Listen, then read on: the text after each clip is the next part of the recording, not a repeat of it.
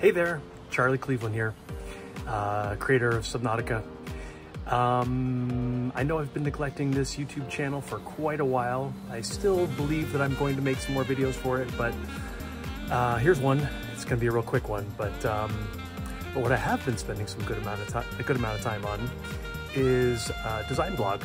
So if you're interested in game design, making your own game, um, mostly the system design and kind of low-level fiddly bits of games, but also some of the high-level stuff, um, like you know designing your game's pillars that you want to build all your features around, um, that kind of thing. Some game direction probably.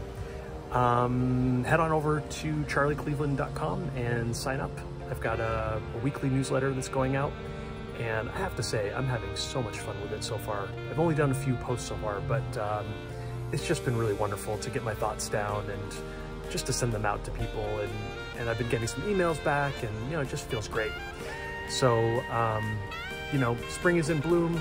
Maybe it's time for a new beginning. It is for me.